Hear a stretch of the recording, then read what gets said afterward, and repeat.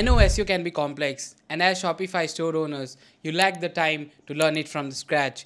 But today in this video, I'll give you 6 super quick hacks that will triple your traffic overnight. So stick around to the end of this video because the last hack is going to change the way you look at SEO and it will literally triple your traffic very very quickly. So let's jump right into the video.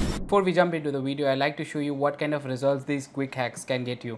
So this client came to us when they were getting around 70 80 clicks and when we applied these hacks along with other SEO strategies, they have jumped to over 900 to 1000 daily clicks. So that means that uh, they've already gotten 1000% increase in the traffic just in the last 4 5 months of working with us. So if you're looking to get similar results with us, you can uh, book a consultation call with us. The link would be in the description. Also make sure to check the description. There would be SEO goodies, free ebooks uh, which contains a lot of SEO strategies. Click the link in the description and you'll be able to get those ebooks and you'll be able to apply those strategies on your Shopify brands and you'll be able to get similar results. So what I want to show you is that these strategies work and what I am going to show you in the video is something that's proven again and again on multiple Shopify brands and multiple Shopify clients that we work with. So make sure you click on the subscribe button as well and click on the notification bell because I create videos like this twice to thrice every week. So make sure you get notified by clicking on the, the subscribe button as well as the notification bell that's there. So let's jump right into the video let's start with having a look at let's say the leather wallet keyword so these are some of the sites that are ranking for it and I've opened a couple of them. The very first thing, so this is one of the plugins that I have developed for e-commerce SEO. It's not yet publicly available but I'm planning to release it soon so uh, make sure you subscribe to my channel and click on the notification bell so you'll get notified once this is out. So the very first quick hack is make sure your title contains the keyword that you're willing to rank for. So for example, if your main keyword is leather wallet, make sure title contains that keyword. So here leather wallet or leather wallets, I mean it's a variation of that keyword. So it is there in this site's meta title. Similarly, the second site that's ranking there if we open their meta title that also contains this keyword. This is a good sign and this is one of the reasons why this site is ranking number one and two. So what we are going to do is if you have a site that's not ranking on the first page but you want it to rank on the first page and you have a shopify brand that sells leather wallet and you are let's say ranking on the fourth or fifth page but you want to get on the first page that's the very first thing that i would check and that would be like a very quick win for you is go into the collection page where which one you want to rank for leather wallets and make sure your meta title contains this keyword leather wallets. So what you can then do is you can go to chat GPT and give the chat GPT prompt that give me a meta title which is under 60 characters or you can just say to be under 55 characters to be on even on the safer side. And that includes the keyword leather wallets because that's your main keyword. So then ChatGPT would give you some of those meta titles, then refine it by giving the prompt like don't sound robotic or give some variations of that. And then you'll be able to select from one of the suggestions that sounds the best to you. What that would do is because this is a very, very important real estate, this thing here this meta title here uh, is very critical. It gives google the idea of what this page is about. So if you don't have this keyword here that's a very very important thing that you are missing.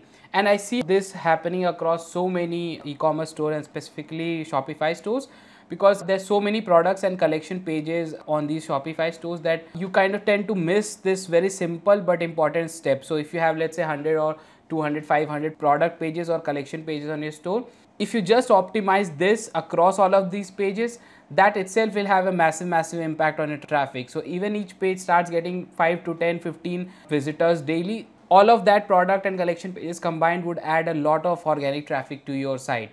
So even though this sounds like a small change, it will result in a massive win for you overall. So that's the number one quick win that you should definitely implement. The second thing right below that is meta description. So meta description is what is seen when someone search for. So let's say if, if you're going to search for leather wallets, this thing here that you're going to see, this is what is called meta description. So this section here is also where we, we suggest that you should have the keyword in here as well. So the limit for this is around 160 characters. So you should try a name for this to be under 160 characters and make sure your keyword is also mentioned here. So again for this what you can do is use chat GPT to generate this. Make sure it doesn't sound robotic or it's not over complicated or, or very fancy English. It should be straight to the point but it also includes your keyword. And again this done across all of the pages on your site, all of the product pages, all of the collection pages would have a massive impact on the traffic that's coming to your site. Like I said, it's it sounds very small, but it's a massive quick win and it will result in a lot of traffic coming to your site if done across all of the pages on your site. So, so it's important that you work on this and get this done across all of the pages on your site. So these are a couple of the quick wins that we look across right so the next quick win that i'm going to talk about is h1 tags so h1 tag is heading tag as the name suggests and per page of the site there should only be one h1 tag this is like a very basic seo fundamental but this is something that I see wrong across so many Shopify stores or e-commerce stores in general. Because of some code issues or some apps issues or some development issues there are multiple H1s on on the page. And a lot of times when new clients come to us I see that uh, on pages there are multiple empty h1 tags. So so there are h1 tags where the, the h1s are there but they're empty or even tags like cart are there in h1s so make sure there's only one h1 tag and ideally it should be the title of your page so the difference between meta title and heading or the h1 tag is there is no limit for the word count or character count for h1 whereas this has a limit of 60 characters because that's where Google truncates what it shows in the SERPs. So to be on the safer side, what you can do is you can keep the title of the page to be the H1 uh, and anyways you'll be including the your primary keyword in the title so that will also reflect in the H1. So it's important to have your main keyword in the title as well as the H1. Again, the rule of thumb is just have one H1 per page, not more than one and don't have any empty h1 tags in there it's it's very very critical to keep it very safe and just have one h1 so again this sounds like a small fix but again if this is an issue so sometimes there's an issue in the code of shopify site or there's an app that is causing the bug so what happens is this issue is there across multiple of the pages of the site and then the whole site is facing that issue and then google is not able to understand your site and it's not able to rank it so just fixing this small issue could have effect of magnitude much much larger than what you think and it could result in much uh, positive effect of traffic coming to your site. So don't think of it as a small change. It could result into a very massive and positive ROI of traffic coming to your site. So yeah, this was another third quick win that you should definitely implement today and it will result in a quick win for you. So the next thing that will result in a quick win for you is having content on collection pages. So most of the clients when they come to us their collection pages are nothing but just a list of products. They just create a collection page and they just add products on that.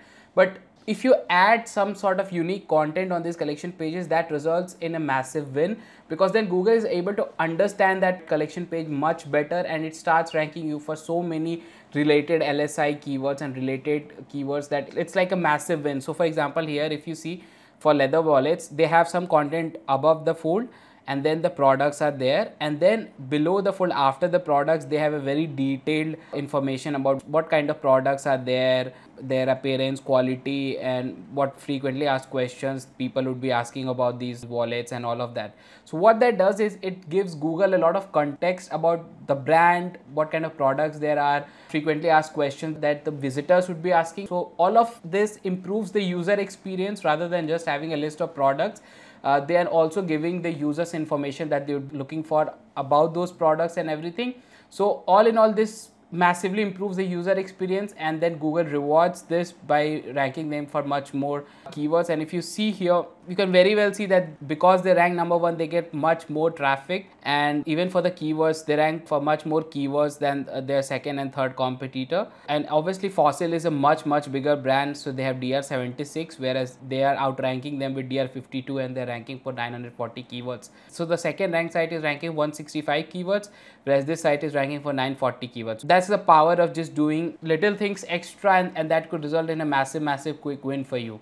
So what you can take away from this particular pointer is when you create a collection page, just add some sort of content above the fold here before the product grid. And then after the product grid you can have detailed set of content which would explain the features of the product frequently asked questions maybe a return policy whatever. Just add relevant content to it and especially think of it from the user's point of view of what they would be specifically asking about it and all of that. So that would make a lot of sense. Now this kind of leads me to the next pointer that would lead to another quick win. You can see how in this section after the products they have very strategically interlinked all of their other collection pages from here. So internal links are a massive quick win. So if implement internal links across your store what that shows google is okay this is how these pages are interlinked and they are relevant to each other. Plus they help uh, in flowing of backlinks and link juice from one page to another page. So they contextually make everything uh, relevant and interlinked. You can see how they have interlinked everything from this section so after the products you have the content here and from here they have very diligently interlinked everything that's very relevant. So this is exactly what you are also going to do.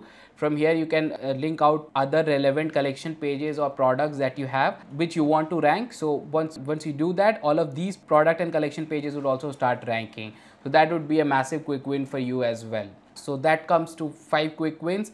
And the last quick win that's going to work for you is having a look at what kind of backlinks your competitors have. So let's say you want to rank for Leather Wallet. Don't just get disheartened by, okay, they have almost 2000 links. What you're going to do is actually dissect how many good links they have. So what we'll do is we'll open this, their links in the new tab and we are going to apply some filters. So that's where your quick win is going to come from. Just note down these filters. We are going to apply the do follow filter. Then we are going to apply one link per domain filter and then we are going to apply dr greater than 15 filter. So once you apply these three filters these are the actual good links that they have. Basically if you see with these 11 backlinks is what is coming to that particular page and this is what is helping them to rank massively. Similarly if you go to the second result we apply the same set of filters. We apply one backlink per domain and we apply dr greater than 15 so if you do that one backlink per domain and do follow that actually takes away any link that they had. So that means they are just ranking by their domain authority which was DR55. So this particular page in itself doesn't even have any good backlinks coming to it. They are just ranking because of the domain authority that's there. So that means they have good links coming to the other pages of the site, but this particular page doesn't really have really good backlinks coming to it. Let's have a look at the other side that was ranking. We'll apply the same filter and now if you go dr greater than 15, they have 21 group of backlinks that's coming to the site. So once you have this number, what you can do is you can create a sheet of how many links you need and you can then also create a list of how many DRs, what range of DRs. So I'll just actually show you. I'll create a new sheet and here what you can do is uh, let me just turn the dark mode off. So you can create the dr range which is let's say 20 to 50 dr 50 to 70 and so on.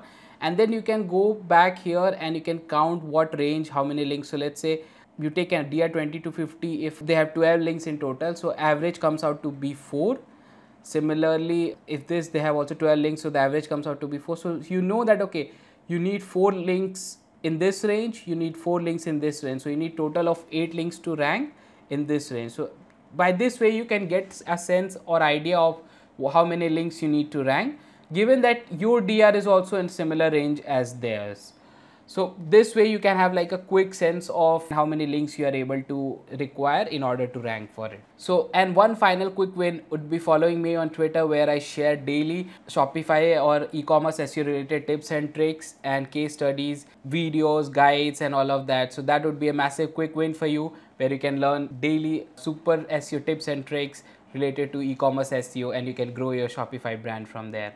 That's it for this video. Make sure you subscribe and check out the other resources I have in the description and book a free consultation call if you want to work with us and check out the other goodies I have in the description box for you. See you in the next one. Peace.